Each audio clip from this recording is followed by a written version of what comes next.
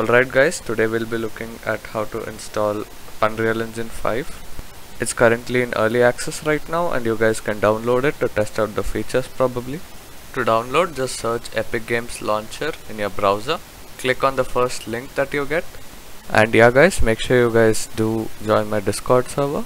Link down in the video description below. And once this is loaded, click on get epic games on the top right hand corner of your screen and it should download the installer.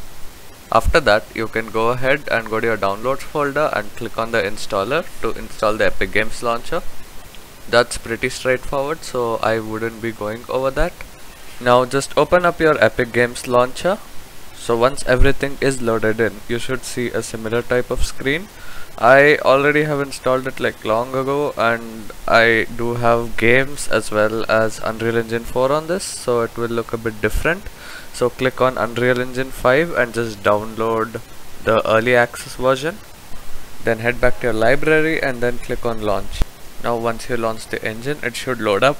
And guys I'll be making uh, Unreal Engine 5 tutorials from now and if you guys have any questions you can leave a comment down below or you could join my discord server. Link in the description. Over the course of time we will be creating various types of games as well as covering all the basics of Unreal Engine 5 both blueprints as well as C++ so that all of you guys can create some amazing games. So I've actually played around with the engine for some time and I do see that there's a big big performance drop from UE4 I would assume that it's an optimization issue right now.